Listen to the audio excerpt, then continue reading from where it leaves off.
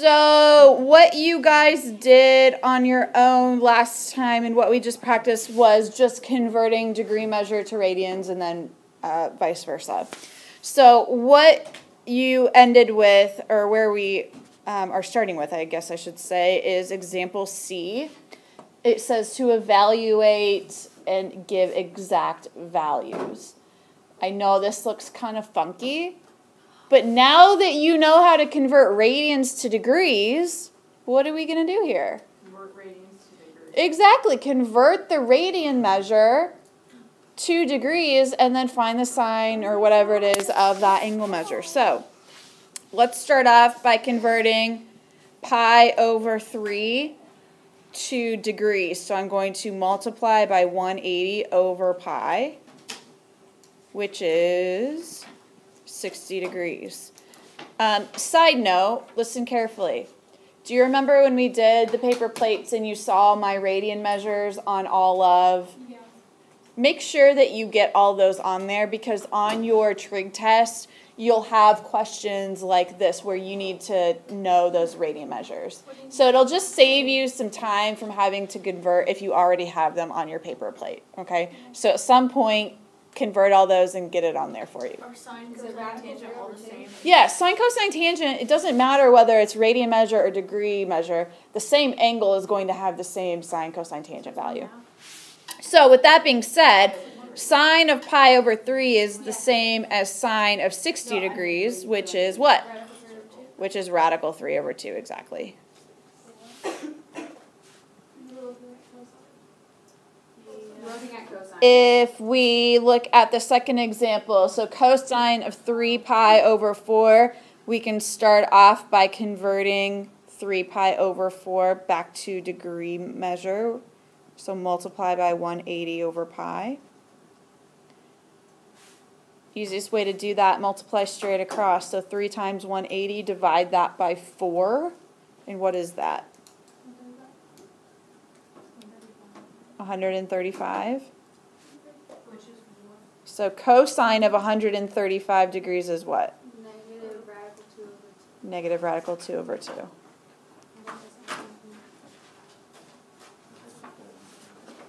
And then finally, for 4 pi over 3, I'm going to start off by just converting that to degree measure.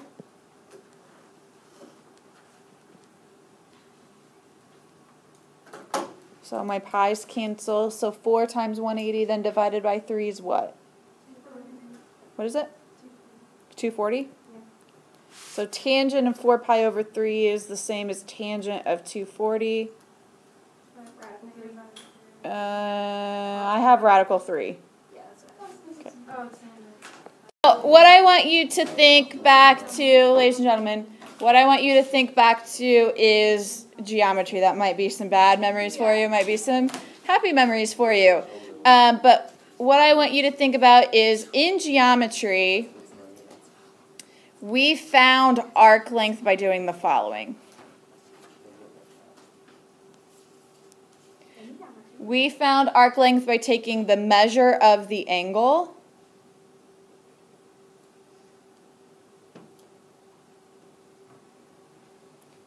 over 360 degrees, and that equaled arc length over 2 pi r.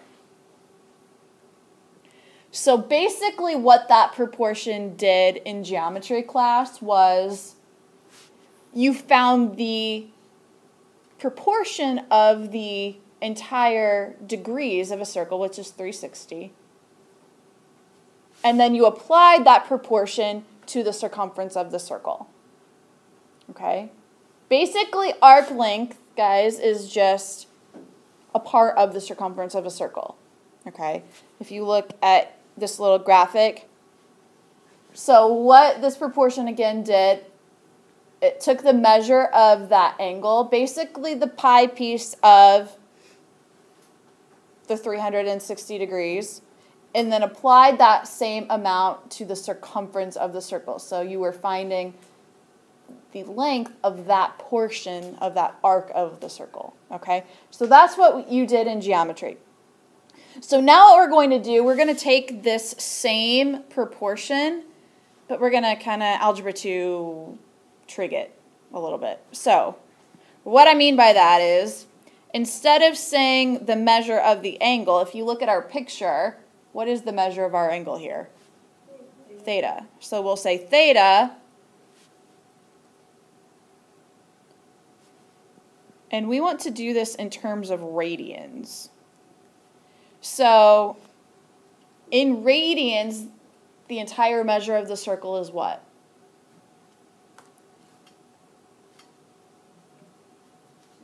Two, two, in radians, the entire circle is 2 pi.